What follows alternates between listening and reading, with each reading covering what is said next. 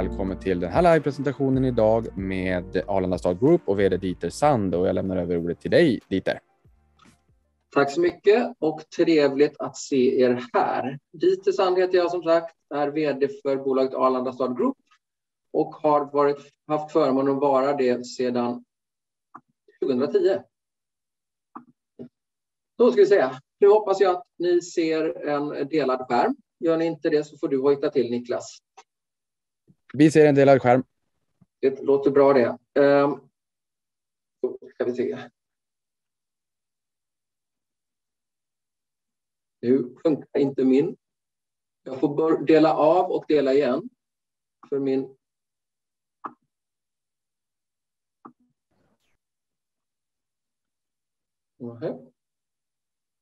Och jag så här.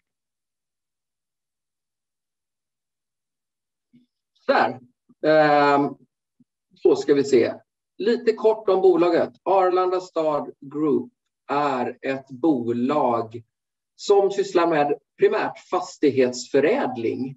Ehm, vi äger stora markinnehav vid, eh, i direkt anslutning till Arlanda stad flygplats och vi jobbar och utvecklar platsen långsiktigt. Det vi förädlar eh, tar vi över i egen förvaltning och eh, därigenom så har vi i vår förädling också långsiktigt tänk eh, och är väldigt måna om att produkten ska bli bra och eh, hållbar och eh, ekonomisk att driva över tid. I det fall att vi ser att eh, operations, att driva operations kan tillföra fastighetsaffären värde så är vi då inte heller eh, vad heter det, rädda för att ta och driva operations. Jag har jobbat ute i Arlanda ungefär i tio år nu eh, och eh, vi har i dagsläget ett eh, fastighetsvärde på vår fastighetsportfölj på 5,8 miljarder. Vi har en omsättning 2000, vid Q2 2021 på 144 miljoner en belåningsgrad på 27 procent och har en NAV-utveckling per aktie i snitt sedan 2018 på 21 procent. Och sedan 2008 har vi skapat förädlingsvärden om 3,9 miljarder kronor. Och vi har en projektportfölj i dagsläget omfattande eh, ett potentiellt värde om 30 miljarder.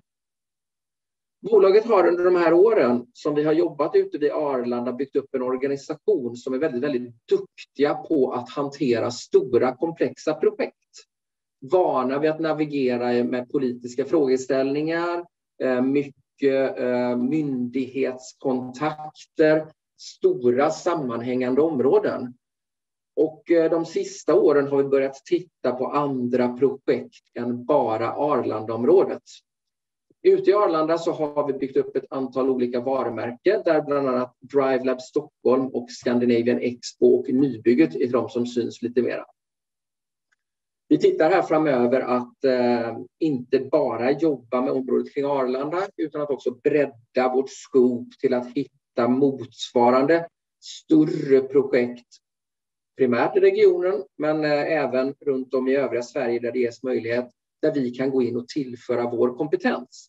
Vi är inte ute efter att eh, förvärva markområden eller fastigheter och sitta och hålla tummarna för någon gilkompression, utan snarare där vi ser att vi kan tillföra värde med vår kompetens, det vill säga fastighetsutvecklingskompetens och vår organisatoriska kompetens där vi då är vana att navigera i stora projekt.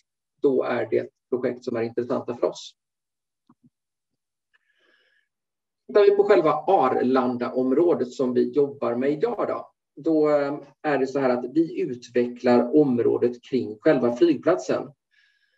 Arlanda hade pre-pandemin en eh, passagerarström om cirka 28 miljoner passagerare per år och Arlanda och Swedavias egen prognos är att passagerarantalet ska stiga till cirka 40 miljoner fram till 2040.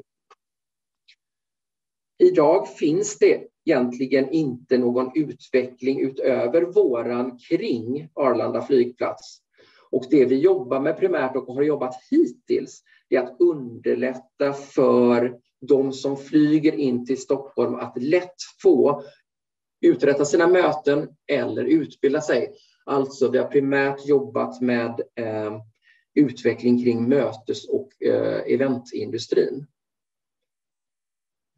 Eh, vi kommer dock att eh, framöver inte bara jobba med den typen av aktiviteter utan från och med nu och framåt så kommer vi att expandera och titta på andra marknader och segment. Vi har sedan 2012 ett bolagiserat samarbete med Swedavia och kommunen, alltså stat, kommun och vi privata fastighetsägare har ett bolag som är gemensamt ägt. Det bolaget heter Airport City Stockholm och det är ett marknadsföringsbolag eh, vars primära syfte egentligen är att skapa intresse för etableringar i området. Men det är också ett forum för att diskutera strategiska viktiga frågeställningar som till exempel miljöfrågan eller infrastrukturfrågan kring området. De här tre parterna, Sigtuna kommun, eh, Swedavia och Arlanda Stad Group äger Eh, tillsammans cirka 750 hektar i området och är i särklass största fastighetsägare kring Arlanda. Eh, storleken på vårt område gör att det också möjliggör för oss att när vi tittar på andra områden möjliga att förvärva eller gå in i, då kan vi syssla med eller jobba med så kallade domaraffärer. Vi kan flytta verksamheter från andra områden till vår plats för att utveckla de nya områdena mot vad som kanske är lämpligast för de områdena. Vårt befintliga markområde idag, eh, det är... Oj, nu ska vi se. Längst ner på bilden i höger hörna så ser vi eh, en bild av det markområde vi har idag. Vi äger och förfogar över ett 240 hektar stort markområde. 240 hektar motsvarar cirka 500 fullstora fotbollsplaner. Eh, vi äger all mark från avfarten mot Sigtuna om man kommer på E4 och kör norrut och upp till Nybyggets husutställningsområde som tangerar långtidsparkeringarna innan man kommer fram till terminal. Eh, markområdet ute vid Arlanda stad är indelat i sex stycken olika stadsdelar, varav vi äger fyra av dessa. Eh, självklart jobbar man med stadsdelar, då förstår man att vi kommer inte att jobba med ett och samma koncept eller tänk kring utvecklingen i samtliga stadsdelar. För totalt sett så kommer vi att över tid ha över en miljon kvadratmeter byggrätt i det här området. De stadsdelarna vi primärt har jobbat i hittills, det är stadsdel 1 och stadsdel 4, där vi har skapat eh, mötesverksamhet och eventverksamhet under varumärkesnamnen DriveLab eh, och Scandinavian Expo. I de andra eh, stadsdelarna så tittar vi på andra typer av användningsområden. Vårt mest nordliga område som heter stadsdel 6, där kommer vi att över tid växa ihop med flygplatsen och terminalområdet där. Så att då får man en liten uppfattning av vad vi kommer att jobba med i den stadsdelen. Jag inledde lite med att vi är ett fastighetsförädlingsbolag. Alltså vi är ett bolag vars core business är att utveckla fastigheter, men vi är också ett långsiktigt fastighetsförädlingsbolag. Det vill säga, vi äger det vi utvecklar och det innebär ju i sin tur att vår förvaltningsportfölj och vårt kassaflöde blir allt bättre över tid. Eh, Hittills har vår strategi varit att äga allt vi utvecklar och hur det blir framöver, det får vi se. Men vi är långsiktiga ägare av det vi utvecklar. Vi driver också operations i det fall vi ser att det triggar fastighetsaffären i övrigt. Här har ni en bild på eh, vår affärsmodell och som ni ser så är det en hederlig byggmästarmodell skulle jag vilja säga. Vi tittar på förvärv. Eh, när vi har förvärvat mark så eh, jobbar vi med konceptuell utveckling eh, parallellt med utvecklade detaljplaner för det vi vill göra. Vi bygger och vi förvaltar och i det fall det skulle vara lämpligt eller att det finns behov så har vi också möjlighet såklart att avyttra fastigheter.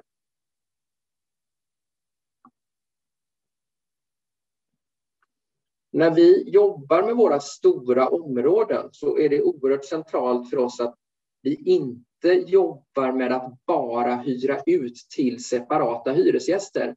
Vi jobbar med att bygga affärskluster där hyresgästerna mår bra av att ligga nära sina grannar. Ehm, ett exempel kring det kan vara Scandinavian Expo, den mötes och eventarena vars första etapp färdigställdes här i januari 2021, där vi har hotellverksamhet, vi har eh, mötes och eventarena, vi har konferensverksamhet och vi har långstayverksamhet. Och alla de här eh, verksamheterna jobbar tillsammans och driver affären tillsammans.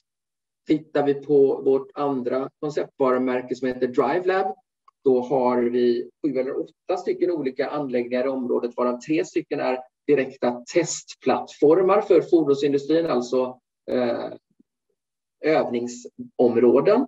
Vi har utbildningsområde för små fordon, vi har utbildningsområde för stora fordon. Vi har eh, försäljning och verkstad serviceverksamhet. Och vi har skapat en plattform egentligen för fordonsindustrin i norra Europa att, att utvecklas, träffas och mötas helt enkelt. Och de här verksamheterna mår väldigt bra ihop och det gör också att vi har möjlighet att få ut högre hyror på, eh, på, på våra hyresgäster eller våra samarbetspartners i de här områdena. För att vi, fören, vi förenklar egentligen logistiken för kundens kund eller för kunden, vilket i sin tur gör att en högre hyra är inte något som påverkar eh, våra hyresgästers direkta affär utan snarare logistiken och den effektiviteten vi skapar är mer positiv än den eventuella hyres... Eh, ökning man har relativt andra områden. Och här kan jag ta ett exempel på eh, två stycken bolag som vi driver i vår egen regi, alltså driver operations. Det ena är Scandinavian XPO, heter bolaget. Det är det bolag som driver och opererar de möteslokalerna som finns i arenan Scandinavian Expo. I princip är det en organisation som sysslar med korttidsuthyrning av lokaler.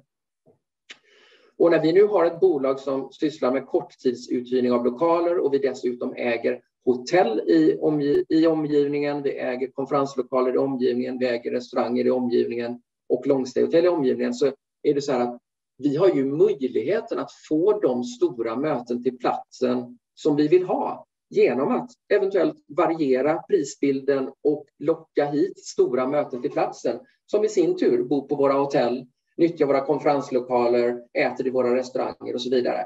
Och därför är det en väldigt, väldigt styrka att själva kunna äga operatörsbolaget som jobbar med uthyrning av lokaler.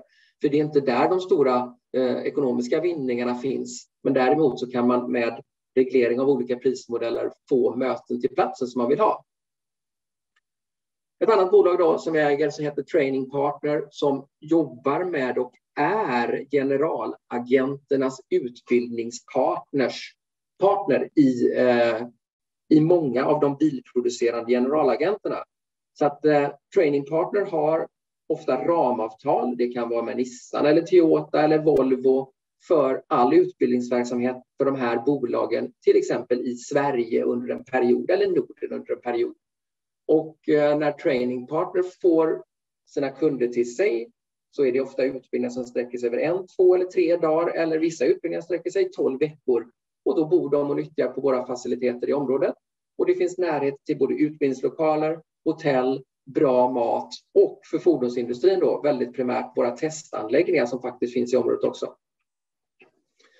Och det varumärkes eller platsvarumärket vi jobbar under, det är Explore Arlanda stad.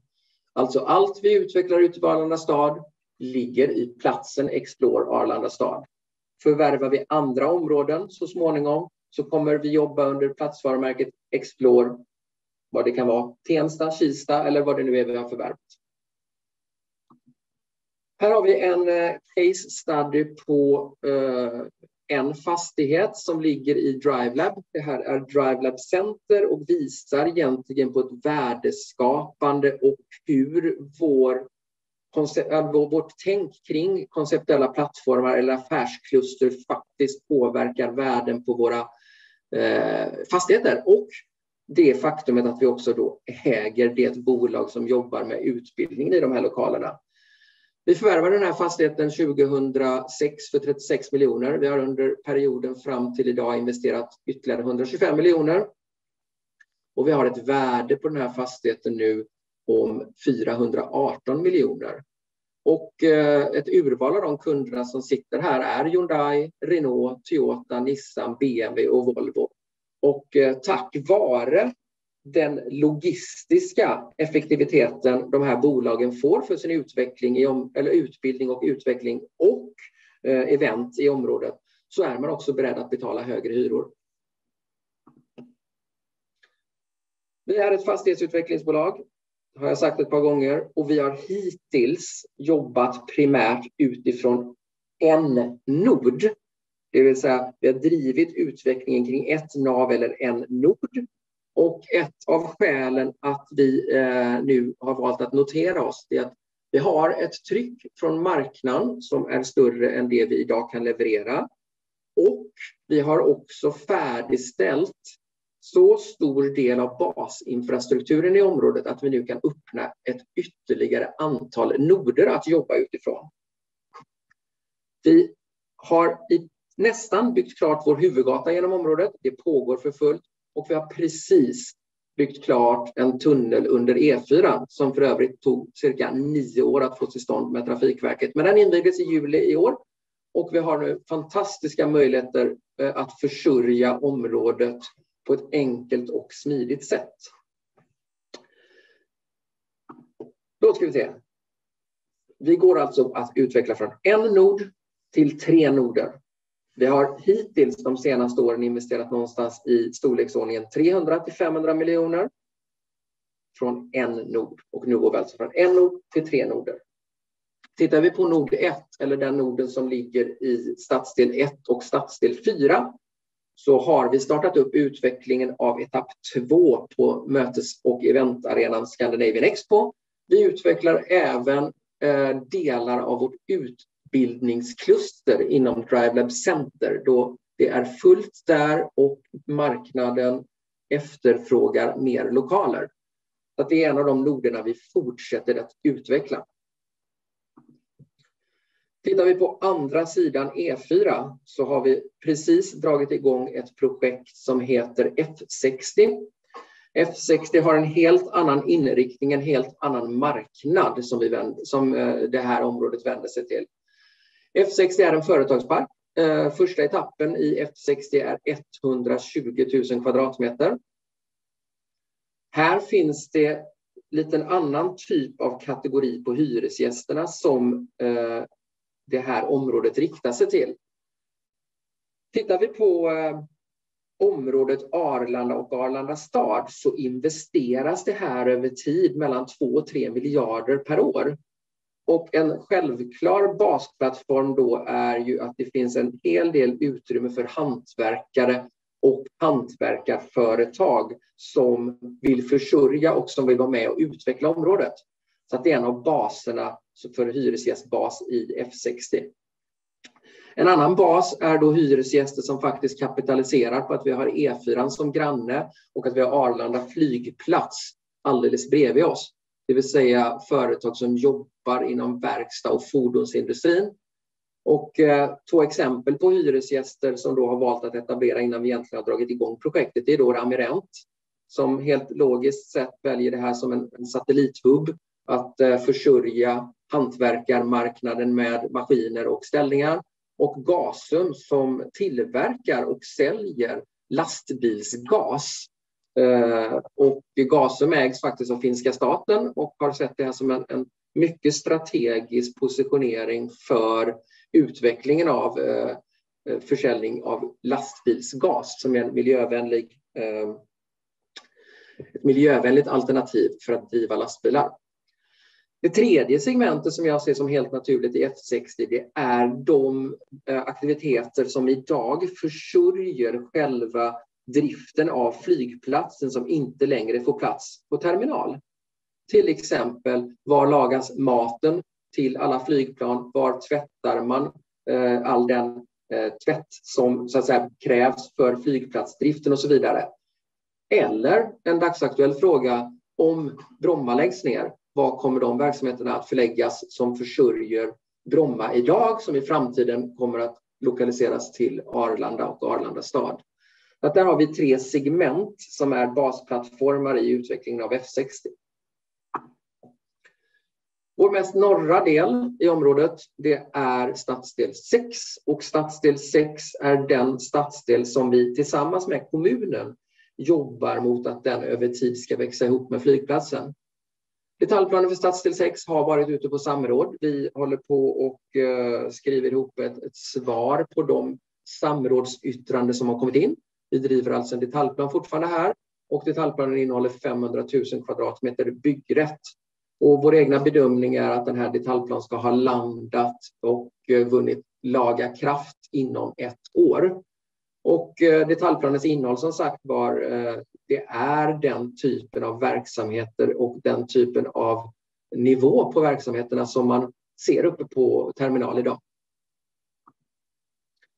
Eh, en slide som ligger långt bak i presentationen som kanske borde legat i början, det är såklart hållbarhet och ESG-frågorna.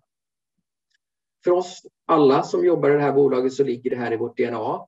Det är oerhört viktigt hur vi ett, behandlar våra egna anställda ur, ur alla olika perspektiv.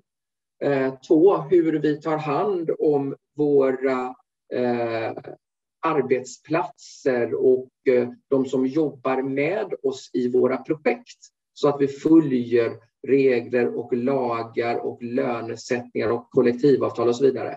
Och sist men inte minst, vi jobbar med projektutveckling. Vi tar många gånger jungfrulig mark i anspråk. Vi måste alltid tänka på hur gör vi detta på bästa sätt ur ett miljömässigt hållbart perspektiv över tid. Och då är det inte bara att köpa eh, gipsskivor från närområdet utan det är hur drivs våra eh, fastigheter och eh, med hållbara energikällor och, och, att det ska vara miljöeffektivt. Och vi jobbar även med eh, väldigt mycket med liksom hur naturen runt omkring ska fortsätta vara minst lika gott skick som den är idag när vi väl är klara med vår utveckling och eh, utveckling av områdena. Så här ser vår styrelse ut. En fantastisk erfaren styrelse där vi har eh, sedan 19 maj i år Peter Wågström som styrelseordförande. Peter har erfarenhet som ni säkert känner till från bland annat NCC som koncernchef under ett antal år. Vi har vår eh, grundare eh, Per Taube som är, också är huvudägare som sitter i styrelsen sedan 2006 och sen har vi representanter från både politik och näringsliv och den senaste styrelseledamoten som kom in, det är en representant från också vår nu näst största ägare, SBB, och det är Lars Tagesson. Tittar vi på ledningen i bolaget så är det en ledning som också har gedigen erfarenhet av fastigheter och fastighetsförädling.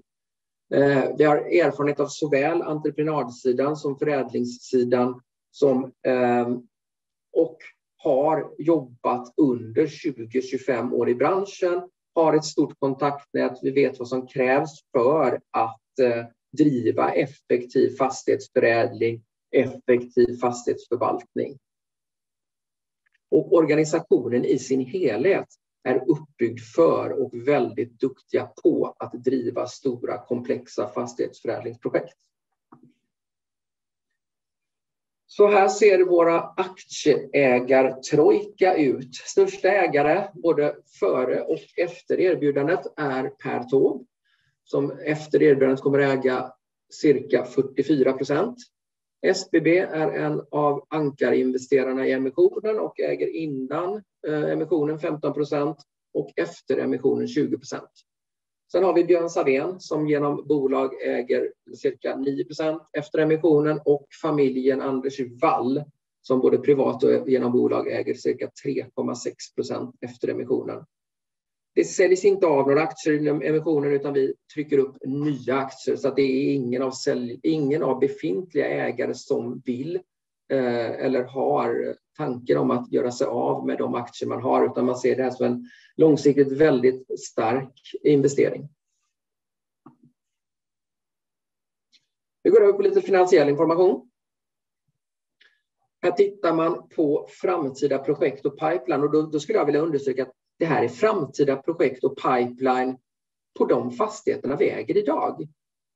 Vi är ett bolag nu som också genom att notera oss får tillgång till kapital så att vi kan förvärva nya områden, nya projektportföljer, ny utveckling.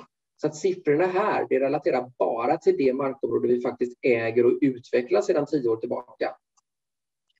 Vi äger då 2 miljoner kvadratmeter mark. Vi har långtidsarrende på 400 000 kvadratmeter. Vi har idag eh, utnyttjade byggrätter om cirka 110 000 kvadratmeter. Detaljplanerade outnyttjade eh, byggrätter idag cirka 600 000 kvadratmeter och vår bedömning är att vi ska tillskapa ytterligare 600 000 kvadratmeter eh, byggrätter. Eh, det innebär att vi kommer att landa någonstans 1,3-1,4 miljoner kvadratmeter byggrätt att utveckla och det ger i sin tur att vi eh, har ett potentiellt fastighetsvärde om 30 miljarder. Vi har idag en marginal på våra projekt som är eh, cirka 30 procent i snitt eh, på vad vi investerar och det ger en förädlingsvinst på 5 till 7 miljarder över tid på det här området. Observera det. Styrelsen har eh, i samband med noteringen satt upp eh, finansiella mål där eh, målet är att avkastning på det egna kapitalet ska överskrida över tid på 15 procent. Bolagets belåningsgrad ska över tid ej överstiga 50 procent. Och utdelningspolicy de närmsta åren är att det inte kommer att vara någon utdelning för bedömningen är att pengarna gör mycket mer nytta i bolaget och där kan det få, där får vi bättre värdetillväxt. Så att sälj hellre en aktie än att få utdelning, jag förstår det. Då går över till sammanfattning om erbjudandet. Vi har en eh, emissionslikvid som vi får in och den kommer ju primärt att eh, användas till det jag har pratat om, fastighetsförädling. Vi accelererar eh, utvecklingen på området vi jobbar med idag. Vi tittar på nya potentiella områden som vi vill jobba med. Och noteringen möjliggör ju då för Arlanda Stad Group bland annat att använda aktien som valuta vid förvärv av större markområden. Och utöver möjligheten att accelerera så bedömer vi också att eh, en notering är en kvalitetsstämpel och det ger också bolaget ökad varumärkeskännedom och då också möjligheter till eh, andra potentiella förvärv och samarbeten än vad en icke-noterad bolag ges. Och självklart så får vi en, en breddad ägarbas.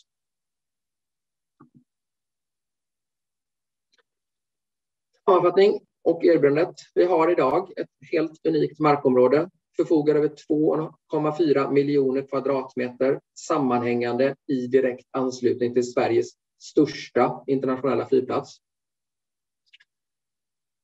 Vi har idag på det markområdet så bedömer vi att vi kan skapa eh, förädlingsvinster om 57 miljarder under de kommande åren. Men det är observera på detta markområdet. Vi tittar på nya markområden och vi har en väldigt erfaren organisation som har drivit verksamheten här ute sedan tidigt 2000-tal. Det bolaget bildades 2005, fastigheter förvärvades primärt 2006 till 2009 och vi har drivit projekt och projektutveckling sedan 2010. Airport City Stockholm, det bolagiserade samarbetet mellan stat, kommun och Arlanda Stad Group finns sedan 2012. Och styrelsen har erfarenhet sen, från bland annat NCC, Genova, SBB, Hemfosa samt AP3. Transaktionsdetaljer. Marknadsplats. Bolaget kommer att noteras på Nasdaq First North Premier.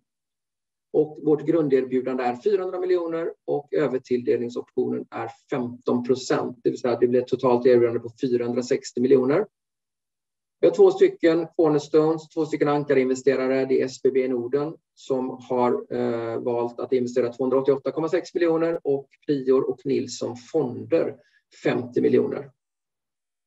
Och vår rådgivare Avanza Bank. Anmälningsperiod är den 2 till 13 september. Offentliggörande av tilldelning den 14 september och första dagen för handel nästa onsdag den 15 december. Hur har vi då prissatt aktien? Jo, styrelsen har valt att eh, Arlanda Stad Group noteras med en rabatt om 11,25 procent jämfört med bolagets NAV per den 30 juni 2021. Här ser vi en, eh, ett utvalda fastighetsbolag värdering på börsen just nu vid halvårsskiftet skulle jag gissa på. Och det var det jag tänkte säga i den här presentationen. Så nu slutar jag dela skärm och lämnar över till dig Niklas. Underbart. Stort tack för det och stort tack för en väldigt intressant presentation. Eh, nu är det hög tid att ställa frågor, så jag påminner och även till er som har kommit in här under presentationen också. Nu är det möjligt att ställa frågor direkt till Dieter eh, och det här spelas ju in. Det här kommer också publiceras i efterhand på Youtube. Så vill man ställa en fråga men, eh, man, där man då inte vill att det här kommer med i slutändan. Så när du ställer frågan, säg till också att jag vill inte att det här kommer med i slutprodukten så klipper jag bort det sen när jag, när jag redigerar ihop det här. Men rent praktiskt, tryck på raise your hands. Eh, om det är så att ni vill ställa en fråga så fördelar jag ordet. Ehm, sitter du på desktop, vanlig PC, vanlig dator eller eh, bärbar dator så trycker du på reaction längst ner och sen så raise your hand. Sitter du på mobilen så trycker du på more och sen raise your hand så kommer jag att eh, alltjämt fördela ordet vartefter eh, händerna börjar dyka upp.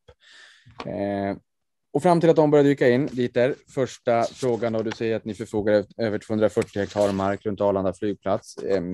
Hur mycket mer finns det kvar att förvärva där ute runt omkring Arlanda?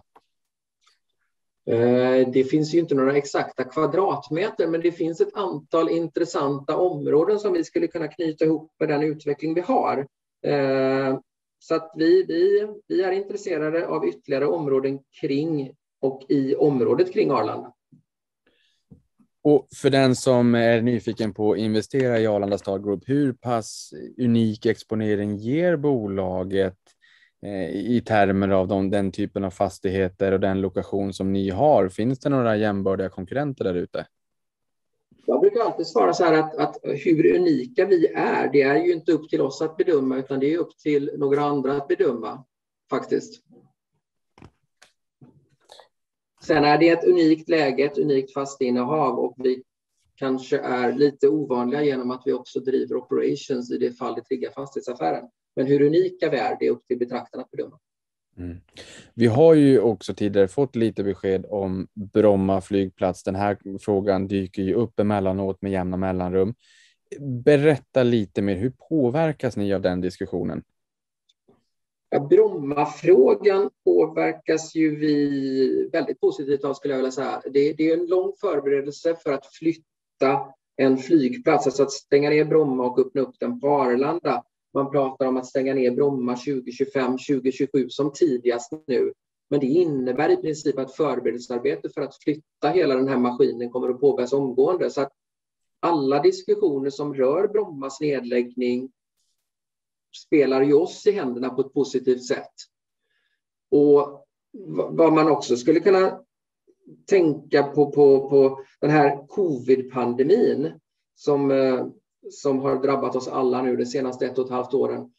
Eh, lite abrupt eller absurt, eller om man säger så, så kanske den också gynnar Arlanda över tid. För vi vet inte hur många ställen man kan driva små lokala flygplatser längre och och det kanske kan bli så att man satsar på ett, ett par större flygplatser i Sverige som man verkligen satsar att få till eh, erforderlig infrastrukturutbyggnad. och så vidare. Och, och, då är väl Arlanda ligger väl bra till i sådana fall kan jag tycka och tänka. Nu har vi också mötts av beskedet att vi kommer att rulla tillbaka restriktioner vart det lider här framåt slutet på september. Eh, och det här är såklart bör ju rimligtvis kanske kunna gynna flygtrafiken. Nu har vi ju lärt oss att ni är ju inte enkom ett derivat på flygtrafiken utan så pass mycket, så mycket, mycket mer än så så att säga. Men någonstans bör ni ju ändå gynnas positivt. Har du några kommentarer kring det beskedet vi har fått här i veckan och hur det påverkar er? Ja, jag vill egentligen backa för redan, redan när vi började nå en hög kvot eller en hög andel fullvaccinerade så började det hända saker. Så att i maj någonstans, då, då började folk tro på att det personliga mötet skulle komma igen. Vi har haft direkt efter semestern här ett flertal större konferenser på plats och större i, i, i covid-tider är 100-150 personer. Men vad som hände här nu när beskedet kom i veckan, då, men då formligen exploderar det här uppdämda behovet av att faktiskt komma och träffas.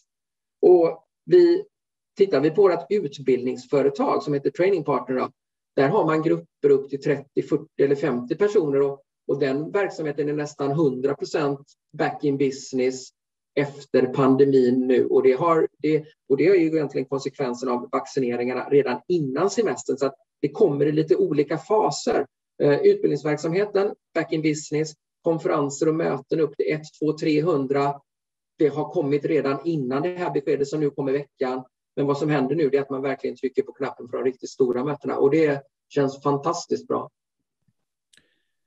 Det låter väldigt bra såklart. Vi är alla glada för det. Och här tänker jag, eh, vi har projektportföljen som du har pratat om lite grann. Dels fastighetsbeståndet idag värt 5,8 miljarder. Då. Sen är det ju ett rätt rejält framtida värde här om 30 miljarder också eh, framåt. Hur lång tid tar det att bygga ut den pipelinen? Ja, ja men det är en bra fråga. Eh, det finns många klassiska citat, hur långt är ett snöre och så vidare. Men vad vi vet är ju att vi ökar ju vår hastighet med investeringar nu, kanske med en, en trippel, multipel. Ja, vi har jobbat från en nod tidigare, jobbar från tre noder nu. Och sen kan man ju tänka sig att skulle då Brommafrågan spela oss ute på Arlanda i händerna så att säga, då kommer ju den här utvecklingstakten att gå ännu fortare. Så att eh, det går inte att säga hur lång tid det kommer att ta att utveckla det här området fullt ut. Det går däremot att säga att det kommer att gå väldigt mycket fortare än vad det gör idag. Mm. Och där har du ju också lärt mig här tidigare att äh, flygplatsstäder, även om ni är mer eh, liksom ett, ett hubb eller bygger upp nav kring kommunikation i stort, så ligger ni ju i anslutning till Arlanda och flygplatsstäder har jag förstått är ett begrepp. Jag har inte riktigt hört talas om det tidigare. Det kanske inte är så konstigt, det för Sverige har varit ganska sist ut med, med det här begreppet. Kan du ändå bara förklara lite grann vad, vad det är för någonting och, och, vart ni skulle kunna tänkas befinna er om, säg fem år? Alltså hur, hur, eh, hur kommer ni förändra eh, närheten kring Arlanda stad? Eller kring Arlanda snarare. Ja, men alltså att, att, att göra om en flygplats från att bara vara ett ställe där man landar och lyfter plan till att göra det till en destination dit faktiskt bolag och människor kommer för att till exempel utbilda sig eller jobba eller gå på möten och mässor. Man bygger alltså en destination, en plats kring flygplatser som gör det logistiskt enklare än att landa på Arlanda och ta sig in till Stockholm city eller landa på Arlanda och åka till Stockholmsmässan eller vad man nu vill göra när man flyger till Stockholm. Så det handlar mycket om att underlätta logistiken för folk som tar sig in till Stockholm från andra ställen. Men jag tycker det är viktigt och då, då, skapar man ju en utveckling kring flygplatsen och en utveckling kring flygplatsen med många olika näringar, kallas flygplatsstad eller airport city. Men en, vikt, en annan viktig aspekt här Niklas tycker jag är att tittar vi lite längre fram i tiden, mellan 5, 10 eller 15, 20 år, så är det faktiskt så här att Stockholm och Uppsala håller på att växa ihop. Uppsala växer söderut, Stockholm växer norrut och då är det här mitten i superregionen Stockholm-Uppsala då är det Arlanda som är centrum. Nu råkar vi ligga mitt i superregionen Stockholm-Uppsala och ha en internationell flygplats som granne, så det tycker vi känns bra. Det förstår vi att ni tycker känns bra. Nu är det hög tid att som sagt ställa frågor till Dieter nu när ni har möjligheten. Tryck på raise your hand så kommer ni att fördela ordet. Ehm, jag väntar säg en minut till här så ser vi att det eh, ser vi om det kommer in eh, frågor. Eh, Dieter, vanligaste frågan du har fått och sen ni har gått ut och, och meddelat marknaden att ni är på väg till, till att noteras? Ja, det är ju varför. Och då är det svaret har vi varit inne på här. Vi har ett momentum. Vi har en, en, efterfrågan som är större än vad vi kan leverera idag. Vi har byggt ut vår basinfrastruktur i området just nu, vilket gör att vi faktiskt är i ett läge då vi kan vi kan expandera vår takt, vi kan bygga från fler än ett nav och genom en notering så är vi inte bara direkt beroende av vår nutida huvudägares plånbok utan vi, vi får in mer och har lättare tillgång till kapital helt enkelt. Och det här med de här tre naven som du pratar om, att det är då 5,8 miljarder i fastighetsvärdebestånd idag, men att ni kommer bygga betydligt mycket eller kunna ha möjlighet att bygga betydligt mycket snabbare härifrån och framåt när ni får en större styrka och möjlighet att bygga snabbare helt enkelt. Ja, både mer och här och andra platser. Mm. Dieter, tusen tack för den här live-presentationen idag och tack till alla er som har varit med och tittat på det här. Eh, och återstår egentligen bara för mig att säga varmt lycka till framåt. När ringer ni i klockan? Det är onsdag nästa vecka, onsdag den 15 september på förmiddagen. Onsdag 15 september på förmiddagen. Då säger jag varmt lycka till på onsdag nästa vecka. Tack och bock och tack till alla som tog sig tid att lyssna. Tack allihopa. Tack för idag. Lycka till!